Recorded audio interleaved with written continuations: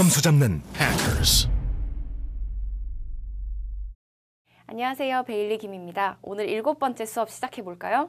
자, 오늘은 본격적인 에세이 작성에 대해서 배워볼 거고요. 브레인스토밍 방법을 먼저 익히고 에세이 기본 구조에 대해서 알아보겠습니다. 자, 첫 번째 브레인스토밍에 대해서 알기 전에 타입이 다섯 개가 있다는 것부터 먼저 설명을 드릴게요. 자, 첫 번째 타입은 preference라고 해서 이제 두 가지 중에 하나를 어느 것을 선호하느냐라고 묻는 문제가 있고요. 어, agree or disagree 유형이 있습니다. 바로 어떤 주어진 전제에 대해서 동의를 하느냐 반대하느냐 묻는 문제가 되겠고요. 그리고 요즘 많이 나오는 A vs B vs C 즉 세 가지의 보기 중에 하나를 고르는 그런 유형이 있는데요. 이런 문제들이 나왔을 때 어떻게 브레인스토밍을 하는지 설명을 간략하게 드릴게요. 자, 일단 여러분이 쓰셔야 되는 본문이 몇 개예요. body 두 개죠. body one이 있고 body two가 있습니다. 대부분의 학생분들이 브레인스토밍을 할 때 장점 두 개를 떠올리려고 많이 하시는데요. 플러스 마이너스의 원리를 이용하는 것을 먼저 오늘 이제 설명을 드리려고 해요. 예를 들어 문제를 하나 보겠습니다. Do you agree or disagree? Movies are more enjoyable than books. 이렇게 나와 있죠. 즉 영화를 보는 것이 책을 보는 것보다 더 재밌느냐, more enjoyable 하느냐라고 물어볼 때 여러분이 만약에 영화 골라야지 라고 생각을 할 때 어, 영화가 좋은 게 뭐가 있지? 두 개 뭐 있지? 이렇게 접근을 많이 하시죠. 하지만 그게 그것의 가장 큰 단점은 단어들이 많이 겹친다는 거예요.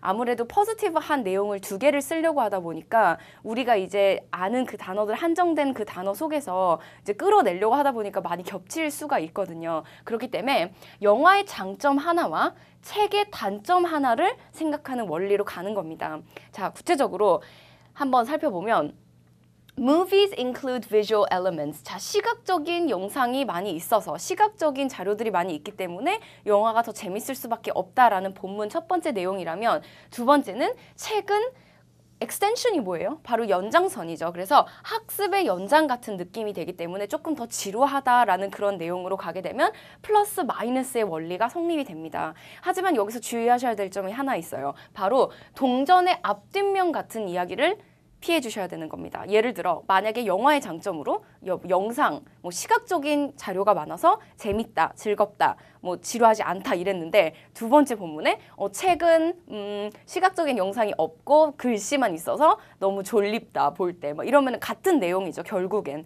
그래서 그런 앞뒷면 같은 내용은 절대로 피해 주시는 것만 기억을 하시면 되겠습니다. 우리가 앞으로 같이 보는 에세이들의 플러스 마이너스의 원리를 같이 많이 살펴볼 거니까 어, 도움이 많이 될 거예요. 자, 두 번째 보겠습니다. 자, past, present라는 단어가 나올 때가 있고요. 보시다시피 today하고 now라는 단어가 질문에 나올 때가 있습니다. 자, 이것은 바로 비교형 문제인데요. 과거와 현재를 비교하는 그런 식의 전제가 나옵니다. 과거에는 이랬는데 현재는 이렇게 될 거다. 그것에 대해 어떻게 생각하느냐 이런 거나 아니면은 now 어, 요즘에 이런 일이 일어나고 있다. Do you agree or disagree? 이런 식으로 질문을 잘 봐서 이런 단어가 들어가 있을 때, 요 네 단어가 들어가 있을 때, 어, 과거, 현재 비교형 에세이를 쓰면 되겠다라고 생각을 하시면 되겠습니다. 자, 과거, 현재 비교는 즉, 과거에 안 좋았던 것으로 현재의 좋은 것으로 이어지는 에세이가 될 수가 있고요. 현재에 안 좋았던 것이 이제 앞으로는 혹은 지금 더 좋아졌다는 식으로 진행을 시키는 플러스 마이너스의 형태로 가는 에세이가 될 수 있겠습니다. 자, 예시를 한번 보면서 더 이해를 한번 해볼게요. 자, people are more interested in living a healthy life today 이렇게 나와 있어요. 자, today라는 단어가 바로 질문 안에 들어가 있죠. 자, 그럼 여러분이 딱 보자마자 어, 과거 현재 비교 쓰면 되겠다라는 느낌이 와야 됩니다. 자, 만약에 이제 agree로 갔다고 쳐볼게요. agree로. 자, 그러면 현재의 장점과 과거의 마이너스로 가볼게요. 자, 현재의 장점. 정보의 교환이 쉬워지면서 즉 인터넷 같은 거. 자, 인터넷 얘기도 예시로 좋은 예가 될 수 있겠죠. 정보의 교환이 쉬워지면서 자연스럽게 접하는 건강 관련 이야기들, 뭐 먹는 거, 운동법, 이런 어, 다이어트 이런 얘기 많이 오고 가잖아요. 그런 게 하나의 어떤 주제거리가 돼서 더 관심을 가질 수밖에 없는 세상이다. 이렇게 이야기를 했다면 두 번째 본문에서는 과거에는 그런 건강한 삶에 너무 집중해서 살 수 없었던 이유, 그저 살기 바빴던 너무 이제 돈을 버는 것, 집을 구하는 것에 이제 먹고 사는 것만 걱정했던 그런 시대였다는 것을 강조하는 두 번째 본문을 쓰게 된다면 단어들이 겹치는 것은 조금 피할 수 있습니다. 자, 이게 바로 과거, 현재 비교형이에요.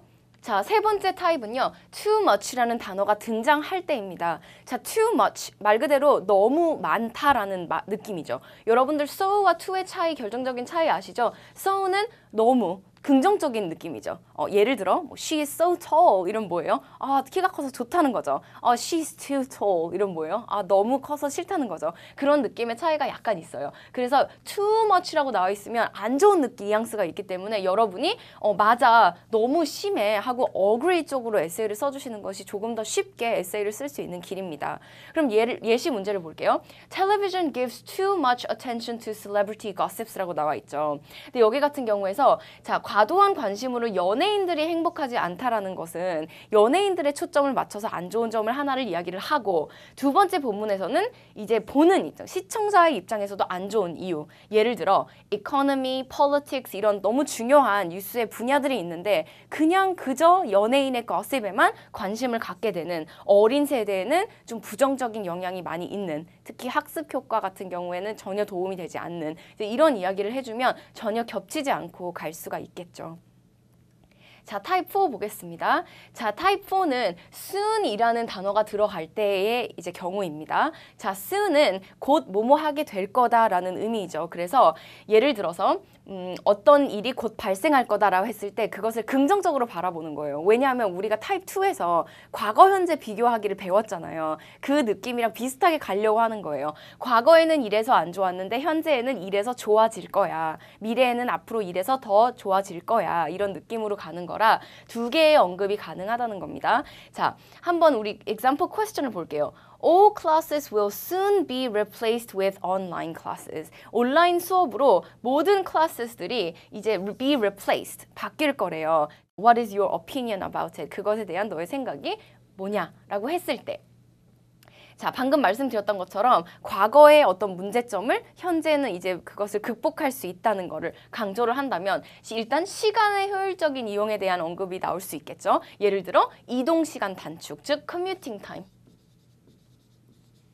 학교를 왔다 갔다 하는 것도 commuting 할, 한다고 말할 수 있겠죠. 학교 학생의 입장이니까요. 자, commuting time도 줄이고 그러면 그렇게 함으로써 공부에 더 집중을 할 수 있다는 저 시간 이제 비례해서 시- 더 시간이 적게 드니까 자 그리고 오프라인 클래스의 단점을 보완할 수 있다는 점으로 해서 예시로 뭐 자리가 부족해서 수업을 못 들었던 경험담이나 아니면 너무 멀리 앉아서 집중하기 힘들었었던 그런 경험담을 토대로 과거의 문제를 극복할 수 있다는 점으로 나아가 주는 거죠. 그게 바로 이제 수은이 나왔을 때 접근할 수 있는 현명한 브레인스토밍 방법입니다.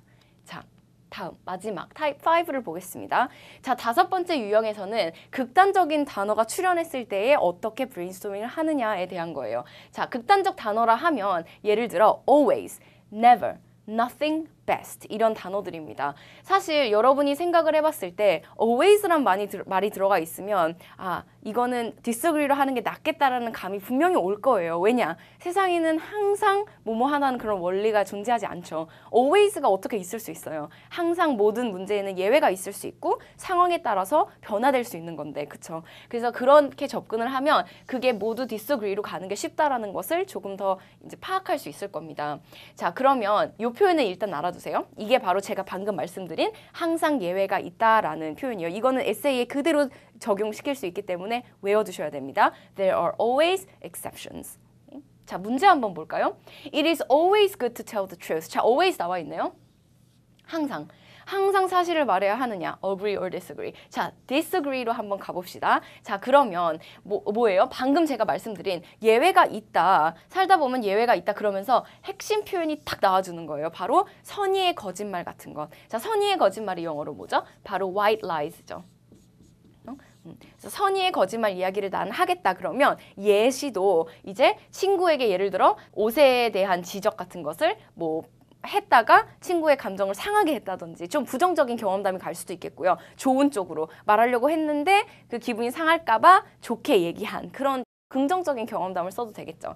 자, 사실을 말하지 않는 것이 개인의 reputation에 좋다는 것도 하나의 그 본론 내용이 될 수 있습니다. 예를 들어 job interview. 회사 인터뷰 같은 거 예를 들어 뭐 너의 약점을 말해봐 이러는데 솔직하게 나의 단점을 다 말할 수는 없는 거잖아요. 난 항상 늦고 막 되게 unorganized 막 하다 막 이런 걸 얘기할 수는 없는 거라 그런 것이 하나의 예시가 되어서 하- 항상 사실을 말하는 것은 본인의 reputation에도 좋을 수는 없다. 그렇게 브레인스토밍을 할 수 있겠습니다. 자, 이렇게 브레인스토밍의 다섯 가지 방법을 봤으니까 이제 기본 구조에 대해서 배워볼 텐데요. 기본 구조는 보시다시피 서론, 본론 두 개, 그리고 결론 이렇게 에세이를 작성하시게 됩니다. 자, 토플, 토플 에세이 같은 경우에는 두괄식 에세이가 주가 되기 때문에 서론이 가장 중요하기도 해요. 서론이 빠지면 안 되지만 결론은 뭐 결론이 빠져도 서론은 절대 빠져서는 안 된다라는 말이 있을 정도로 서론이 중요합니다. 자, 서론에는 두 가지 부분으로 나뉘는데 바로 도입이 있고 나의 의견 이렇게 두 부분으로 나뉘어요. 요것도 템플릿이 있으니까 그때 템플릿을 외우시면 아마 이 부분은 2분 정도 소요할 거예요. 브레인스토밍만 된다면.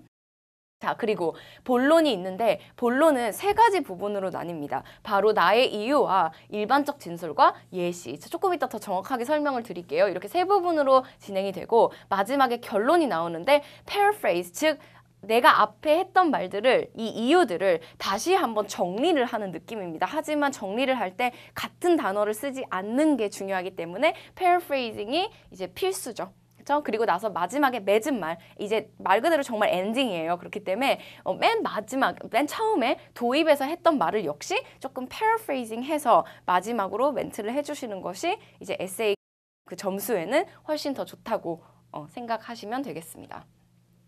자, 방금 말씀드린 가장 중요한 본론에서 이유, 일반적 진술, 예시에 대해서 다시 한번 설명을 드리면요. 이유는 나의 입장에 대한 분명한 이유, 뚜렷한 이유가 되는 거예요. 바로 여러분이 브레인스토밍 할 때 적어 두셨던 그런 다- 대표적인 단어들이 바로 등장을 하게 되는 이제 부분이 되는 거죠. 구체적으로. 자, 이유에 대한 부가적 설명이 바로 일반적 진술이라는 부분입니다. 자, 그 일반적 진술에 대한 구체적인 예시가 바로 example이 되는 건데 이 예시 부분에도 템플릿 이 존재하기 때문에 요 본문 쓰기도 템플릿을 통해서 많이 학습을 하시면 템플릿을 활용하시면서 학습을 하시면 아마 주어진 시간 안에 쓰시는 건 큰 무리가 없을 거예요. 자, 이제 해커스 practice를 통해서 이제 아웃라인 잡기를 좀 연습을 해보겠습니다. 자, 아웃라인은 제가 방금 말씀드린 타입 다섯 개에 해당하는 첫 번째 타입의 플러스 마이너스 쓰기에 조금 더 집중을 해서 한번 살펴보도록 하겠습니다. 자, 첫 번째 문제 볼까요? 자, 첫 번째 문제는 보시다시피 agree, disagree 유형이 나왔습니다. 요즘에 가장 많이 나오는 출제되는 문제 유형이라 책에 많이 수록이 돼 있으니까 유의해서 봐, 봐보세요.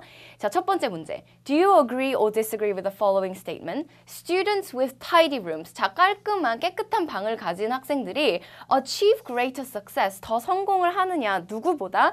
Those with messy ones. 지저분한 방을 가진 학생들보다 성공을 할 확률이 더 높으냐라고 물어보고 있습니다. 자, 동의하세요? 반대 하세요? 자, 여기 아웃라인을 보시면은 책에 나와 있는 거는 disagree로 나와 있고요. 이유 1과 이유 2에 이제 중요한 단어들이 나와 있으니까 한번 같이 살펴보겠습니다.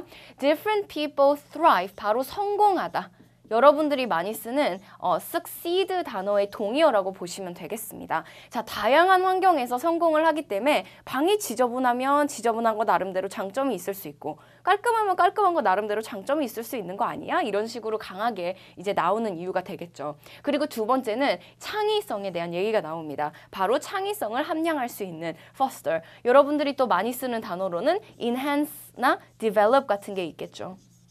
저 하지만 foster라는 단어도 에세이에서는 정말 많이 쓰이는 단어니까 listening 나중에 listening을 위해서라도 꼭 기억을 해주세요.